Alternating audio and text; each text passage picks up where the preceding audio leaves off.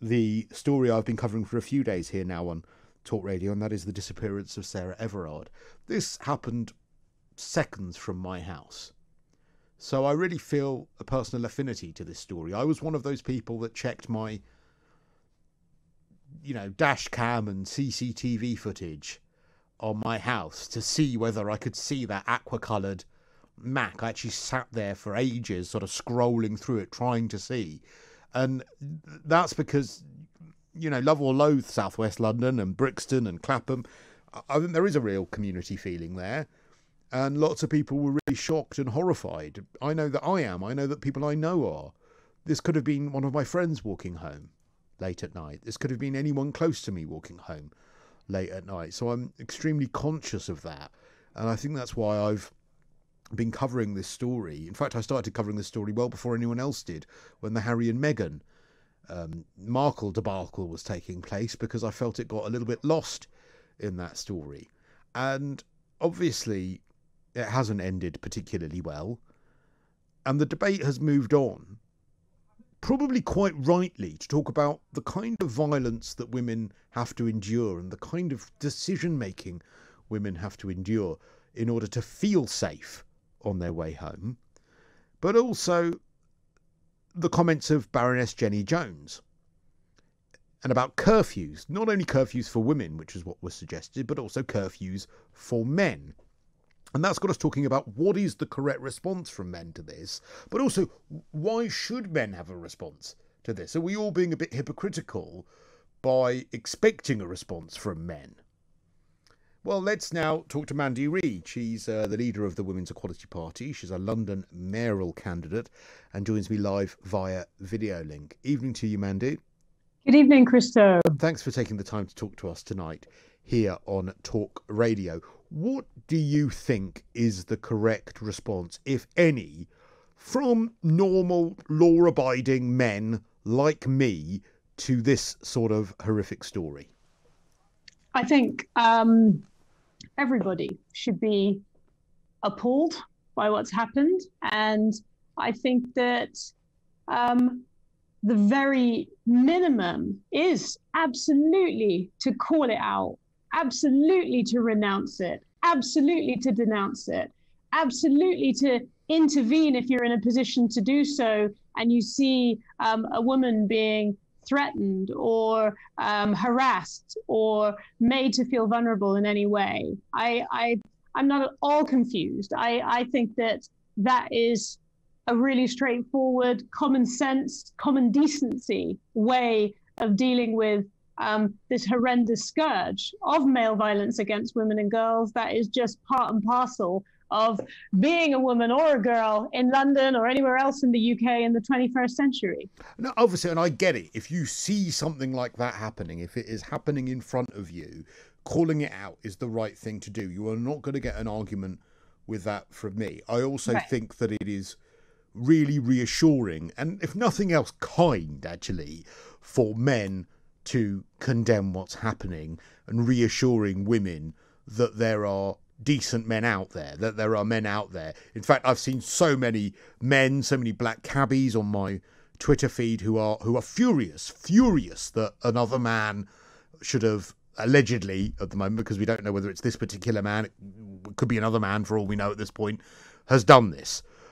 But and I feel like a hypocrite because the issue I have, I don't know if you heard my what I was saying just before the break, is that that we don't expect other tribes, minorities, people who are representative of a ethnicity, a gender, a religion, to have to condemn the actions of those people within that tribe, for want of a better word, for their negative behavior. It's great when they do, but when we hear that it's expected, we're told that it's it's not appropriate. We when we say, well, why aren't more Muslims calling out Islamic terror attacks? We rightly say, well, actually, no, it's nothing to do with law-abiding Muslims. Why should they have to call this out? We called out Donald Trump. We rightfully said it's completely wrong. Donald Trump blames the whole of China for COVID because, of course, normal law abiding Chinese people had absolutely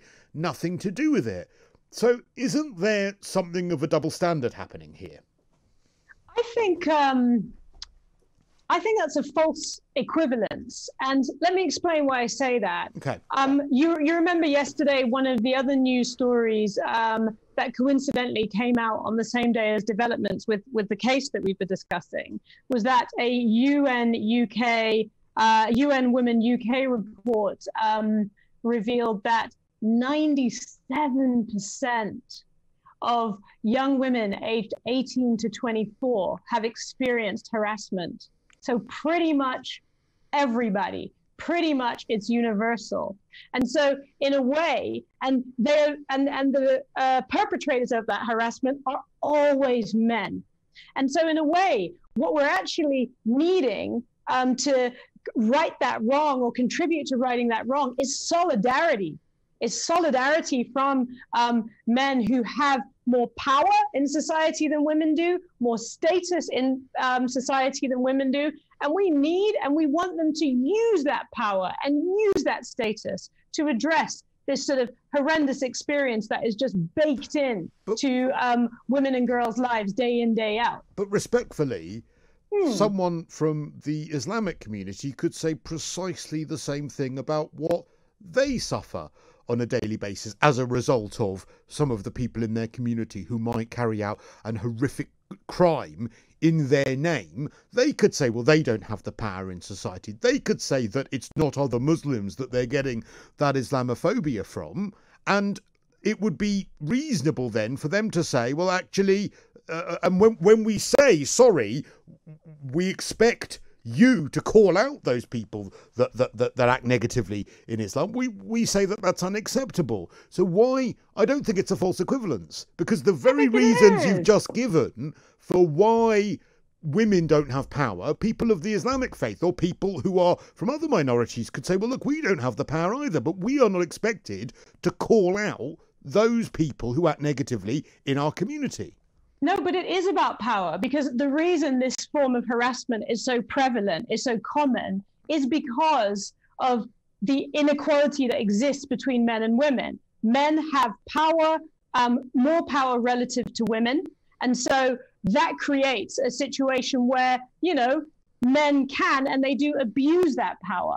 If you're talking, if you're talking about the example you give about um, Muslims and terror or whatever it may be. It just doesn't work here because the power dynamic doesn't play out.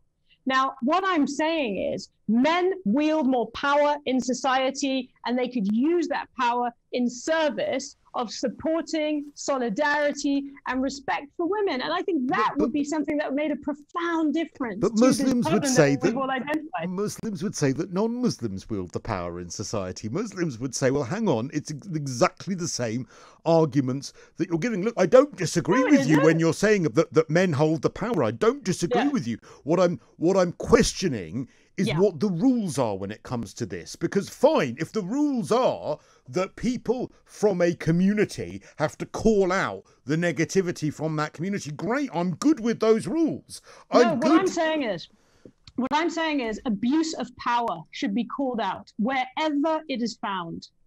Okay? And men can use their position, their status, and their power to call out other men who abuse their power. That is what I'm saying. And I think that would make a really big difference. And there's another angle to it as well, just sort of common decency. Why, Cristo? Why mm-hmm. did you um, troll through your CCTV or whatever it is? Why did you do all that? What was your motivation? Because what made you? it was that? the I, I felt it was the right thing to do. I wanted yeah, to help. I wanted to help. Exactly. And I want to live in a society where people want to help and where people want to stick up for those who are at the sharp end of inequality, people who are um, suffering, people who are victims of violence. And I think that in a way, when there is a gender dimension to something, which this obviously has a gender dimension to it, you know, every three days a woman is killed by a man in this country. It doesn't go the other way around. It shows you that there's a power dynamic. Um, in London alone, last year, 8,000 reported rapes took place. Um, and that is a crime that men commit against women. And I think, I think if we want to live in a healthy society, men could and they should, and I encourage them and I, I wish I could demand it of them, but of course I can't do that. That's what I want to see happen. Because I, because I, I, I don't power to help and support women. I honestly don't disagree with you. I'm, I'm not trying to actually I know, argue no, with know. you, but I, but I, feel like We're a hypocrite. But I, but I feel like a hypocrite but because you mustn't feel like a because I. I, I call out people that Yeah. say, you know, the exact example I've given you, or the exact example about Kung Flu and the Chinese and, and all of that sort of thing. I call people out that do that, and I say, actually, no, you you can't you can't generalize by a very small minority in a group of people that might be negative. And in the same way, it, you know, not all men are bad. There's a very small minority of men that are bad. Now, hmm. proportionately, women suffer as a result of that. That is abhorrent and it's wrong.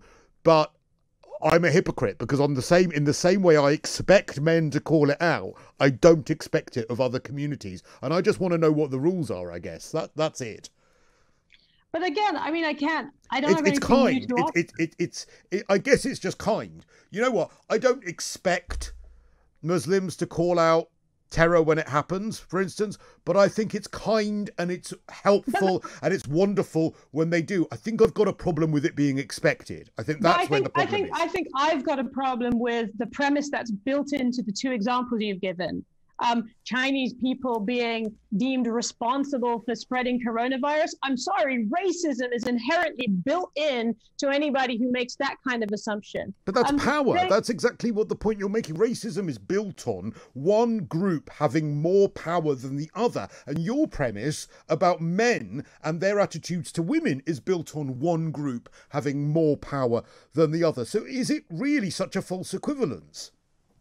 It's a completely false equivalence because if you're saying men should um, and by the way, I'm enjoying this conversation. Yeah, so am I. I am as well. Even though we're not really getting anywhere, um, um, I just I just wanted to throw that in the mix. Um, if you're tr- if it is it is racist tropes that underpin the idea that Chinese people are all carriers of coronavirus and responsible for spreading it around the globe. It is racist tropes that stereotype, um, you know, uh, Muslims as terrorist bombers. Now, it is it ain't no trope. It is a fact because the data bears it out that violence, gendered violence, goes flows pretty much in a clear direction, where men are the perpetrators and women are the victims. Some men. and and uh, Some men. yes, I've never I've never said all men. No, I know that, but I, I, the other thing I think we need to be careful of Yeah. with this is I'm, I try and be really careful on this program Sure, to use to use words like some because at the moment what I'm worried about, I've got calls coming in on my board at the moment as a response to what Jenny Jones said earlier, as a Hmm. response to actually some of this conversation, saying here that that you know this is making out that all men we all do nothing and we happily allow I've got I've got a tweet here from uh, someone saying um uh, you know it's being made out by this woman sorry to use that term okay, lady I I would like to do um, Fine, I'm a uh, do nothing and allow women to be beaten by other men. If it wasn't for good men this society would be a lot damn worse. Um uh, uh, uh, and I guess that is the danger with some of these conversations is that that it it leads to a perception that men are being negatively generalized when there is an expectation that they should have to call out this stuff. I'm not saying they shouldn't. It's I think about the expectation. What would you respond to those people who are texting in at the moment saying, "Look, this is making out that all men are tarred with the same brush here." I mean, stop making it about you. Stop taking it so personally because actually, you should be appalled and disgusted and outraged that 97% of young women have experienced sexual harassment. You know, I personally have been groped, catcalled at, But chased. that's not down to all all men. that- No, it isn't. It isn't. But the perpetrators have always been men, and that should appall you. That should disgust you, and you shouldn't make it about you. If you're a, if you're a good guy, show me your good guy credentials by standing up for women who are on the, receive, the receiving end of this kind of abuse. Use your power in a way that actually makes life better for um, the women and girls in this society who don't deserve to have to live um, under the threat of violence day in, day out, under the threat of abuse, under the threat of being harassed and tormented and potentially murdered. Okay, so what can good men do. I know I realize what you're saying about don't make it about them. Yeah. I, I ask that people make the point that it's it's it's some men that are bad, as you have yeah. respectfully done. But what can good men do? What can we do? I mean, we've covered some of it already, even though we ended up having a long discussion about whether it is hypocritical or not. Absolutely call it out always. Never let it go. Never let um, sexist jokes by you know go unanswered. Never let a woman uh, be um, catcalled in your company. Call out the men who who do that and, and, and who do that to sort of boost their own macho what, credentials. What, what, can we do Step if one. we don't see it, though? Because I think that's a. Yeah. What can we do if we're not a present for it? What can we do in response to actually this story? Because most so, men I know yeah, are utterly yeah. appalled about this story and, and they're frustrated that they can't do anything. I think that they are and I know you won't like this, but I think they are a bit frustrated that there's a conversation that seems to centre around men in general yeah. rather than bad men. And I guess I will okay. also make this point, and and, and and you come back to me with all of this. Sure. And you might not like it, but I've had lots of conversations on this show about how, uh, and I'm not making it all about men because a, a woman has potentially lost her life. She has disappeared. I acknowledge fully that mm. violence against women is happening at the hands of some awful men. But I also think there's a wider problem in society at the moment about what men in 2021 are supposed to do, what they are supposed to be. Are women supposed to be independent? Are they supposed to be protected? Are men supposed to show polite and good manners by opening the door? Are they supposed to not? Are they allowed to approach a woman? Are they not? And I I talk to a lot of young men, and let's not forget if we're talking about the the the the lives of women ending, suicide is the biggest killer of of men that you will find in this country. Yes. And I think that there is also dare I say, in this climate, a crisis among men about what on earth they are supposed to do, what they are supposed to be, how they are supposed to act, whether they're supposed to be masculine, macho, soft, gentle, feelings, all of those sorts of things. And I'm sure that's something you're conscious of as well.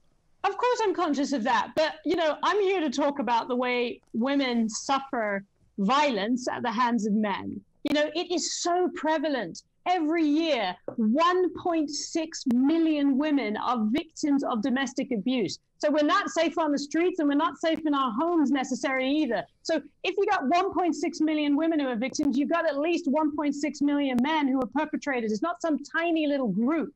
And I think what I want to see, um, all men do, the good men who you've described feeling confused about what to do and the crisis of masculinity, I want them to say, enough is enough. I want them to join their voices with ours. I want them to be calling for ending violence against women and girls to be a political and policing priority. We need investment to go into that to eradicate it. Why is it okay? Why would we accept a situation where pretty much every single woman just has to um, deal with the fact that you'll probably be harassed on the street. Men should be as angry as I am. Men should be demanding that, you know, that the men who perpetrate this change their behavior. We should have the highest standards in our criminal justice system, and men should be calling for that too. They should be demanding that from politicians, demanding that from police leaders. It should be something that, you know, is as that they care as passionately about as I do. Why wouldn't they?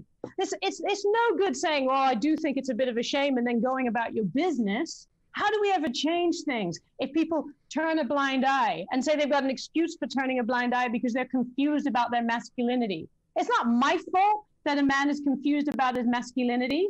I know, you know I, I, wasn't. I and, wasn't, that's not, I, and that's not an excuse. No, and I wasn't saying that people turn a blind eye because they're confused about their masculinity. I just think it's a fair point to say that yeah. when it comes to the role of men in society in 2021, I yeah. think that there is a crisis going on, and I think the suicide statistics show that. Now, that is not to take away in any way, shape, or form from the point you've made about violence against women. I just think I, I, I think, think, it comes down to men not knowing how to how to react, basically. But listen, I know you've I got to go and do another interview, but if you've got time to answer, please I free. Think, I think that one of the factors that influences high male suicide rates is misogyny, patriarchy, the male supremacist world that we live in, which demands men be macho, which actually plays on these stereotypes that are really damaging. And so men who might have different sensibilities don't feel they can live up to those expectations, have a crisis, and it, it puts them under, under pressure and emotional strain and mental health strain. Let's all join hands and fight